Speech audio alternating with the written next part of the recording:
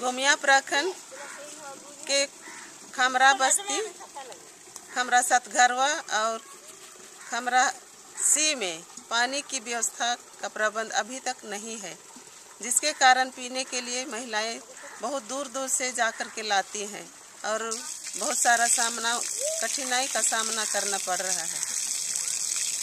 बहुत परेशान अभी ये पानी आने के लिए बहुत परेशान हो गई है। देखिए, नदी से आते आते एकदम से बहुत दूर होता है नदी।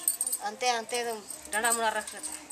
पानी इतना है ना जैसे आते आते इधर उधर घर दूरा ने कौन करने पाते हैं, कुछ नहीं करते। पानी चलते पीने के लिए है ये नहीं तो घर कहाँ से करेंगे? और कुछ करेंगे कहाँ से?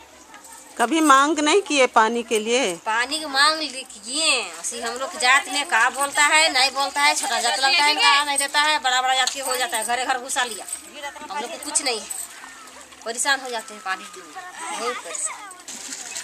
और हर हर गाँव में, हर बस्ती में देखते हैं बहुत पानी। अरे गाँव में है ये नहीं पानी। जो नेता बोलते हैं, नेता ये देता है। बोलता है, दे देंगे दे देंगे, ये कर देंगे, वो कर देंगे। बस छोटा जात करता है कि करता है, नहीं।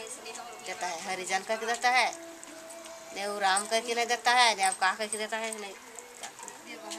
मैं इस वीडियो को इसलिए बनाना चाहिए क्योंकि मेरे परिवार को भी पीने का पानी की व्यवस्था बहुत दूर से करना पड़ता है।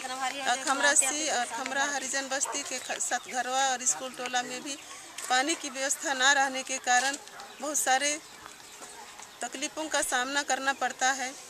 अतः मैं और मेरे आदिवासी एवं हरिजन समुदाय के लोग चाहते हैं कि हमें भी पीने का पानी की व्यवस्था जल्द से जल्द होनी चाहिए।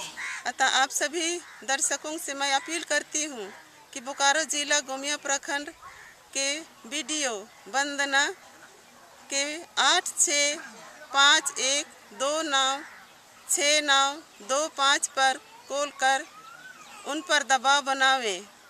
मैं गोरेती कुजूर बोकारो जिला गोमिया प्रखंड से इंडिया अनहर्ड के लिए